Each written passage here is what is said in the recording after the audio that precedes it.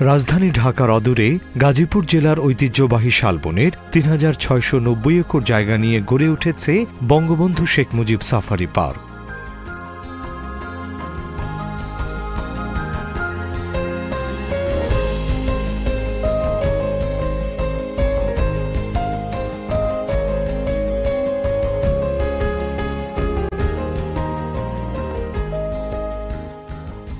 চিত্ত বিনোদনের পাশাপাশি বন্যপ্রাণী শিক্ষা ও গবেষণার দ্বার উন্মোচনে এই পার্ক এক যুগান্তকারী পদক্ষেপ।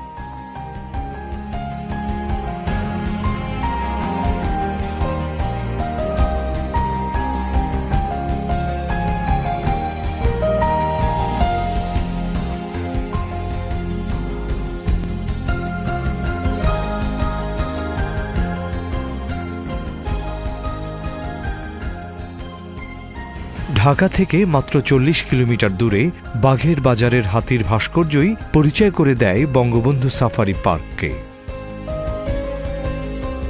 Core safari park, safari kingdom, biodiversity park, Bangabandhu square ও এক্সটেন্সিভ এশিয়ান সাফারি পার্ক নামে পাঁচটি অঞ্চল নিয়ে গড়ে উঠেছে বঙ্গবন্ধু সাফারি পার্কের বন্যপ্রাণীদের অভয়ারণ্য।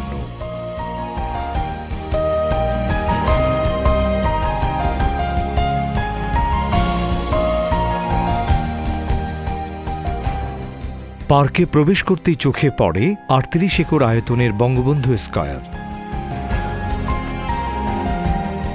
পার্ক সম্পর্কিত যে কোনো তথ্য জানার জন্য এখানে রয়েছে একটি পূর্ণাঙ্গ তথ্য কেন্দ্র।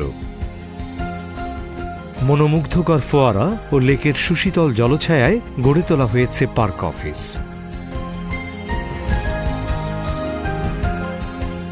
জীববিজ্ঞানের নানা তথ্য ও গবেষণার জন্য এখানে প্রতিষ্ঠা করা হয়েছে নেচার হিস্ট্রি মিউজিয়াম।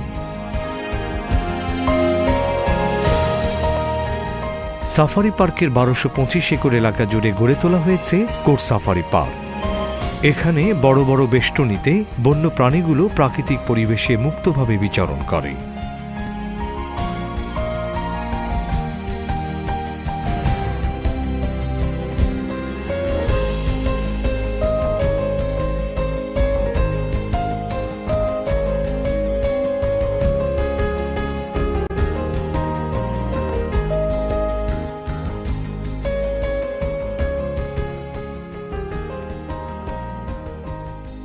পর্যটকগণ বেষ্টনীর ভেতরে গাড়িতে চড়ে মুক্ত বন্যপ্রাণীর অবাধ বিচরণ পর্যবেক্ষণ করে রোমাঞ্চিত হন।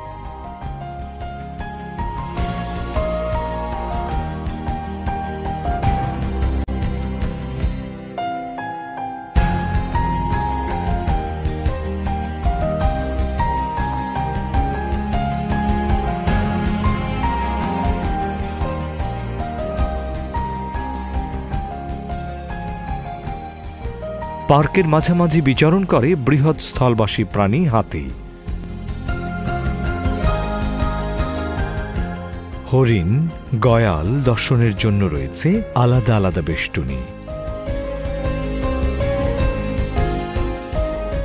কোর সাফারি পার্কের দুশো চল্লিশ একর এলাকা জুড়ে রয়েছে আফ্রিকান সাফারি পার্ক। এই এলাকাটি আফ্রিকান বন্যপ্রাণীর এক অনন্য সংগ্রহশালা। এখানকার প্রাকৃতিক পরিবেশে মুক্ত অবস্থায় বিচরণ করে ওয়াইল্ডি বিস্ট, জেব্রা ও জিরাফের মতো মনোমুগ্ধকর প্রাণী।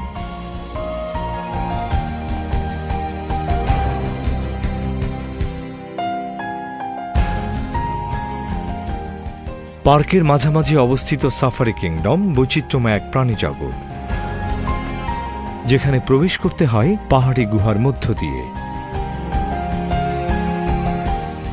দর্শনার্থীরা পায়ে হেঁটে এখানকার বন্য প্রাণীর নৈপুণ্য উপভোগ করতে পারে।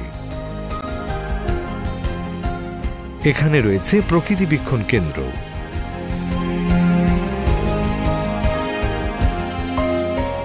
এখানে আলো ও শব্দ প্রবাহের সাহায্যে খুব সহজেই বিভিন্ন বন্য প্রাণী ও গাছপালা সম্পর্কে সম্যক ধারণা পাওয়া যায়। বন্যপ্রাণী দেখার জন্য এখানে রয়েছে পর্যবেক্ষণ টাওয়ার।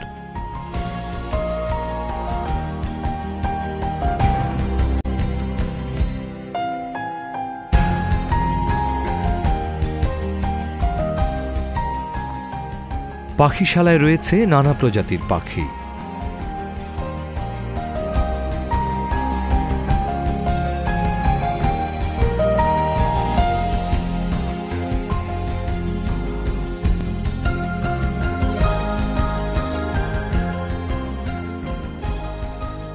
তবে শকুন, ধনেশ উটপাখি ইমু, প্যাঁচা প্রভৃতি পাখির জন্য রয়েছে আলাদা আলাদা এভিয়ারি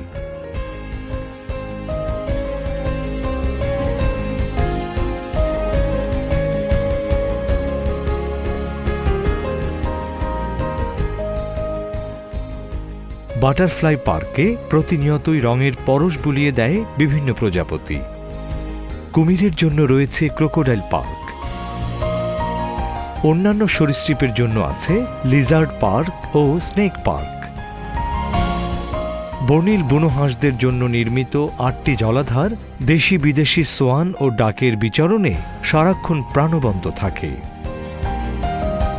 বৈচিত্র্যময় উদ্ভিদ প্রজাতি সংরক্ষণের জন্য এই সাফারি পার্কে প্রতিষ্ঠা করা হয়েছে আটশো বিশ একরের বায়োডাইভার্সিটি পার্ক। এ অঞ্চলের ঐতিহ্যবাহী শালবন রক্ষায় এখানে প্রাধান্য পেয়েছে শাল গাছ। বঙ্গবন্ধু সাফারি পার্ক জীববৈচিত্র্য গবেষণায় গুরুত্বপূর্ণ ভূমিকা রেখে যাচ্ছে। পাশাপাশি এলাকাটিকে একটি পর্যটন কেন্দ্রে পরিণত করেছে।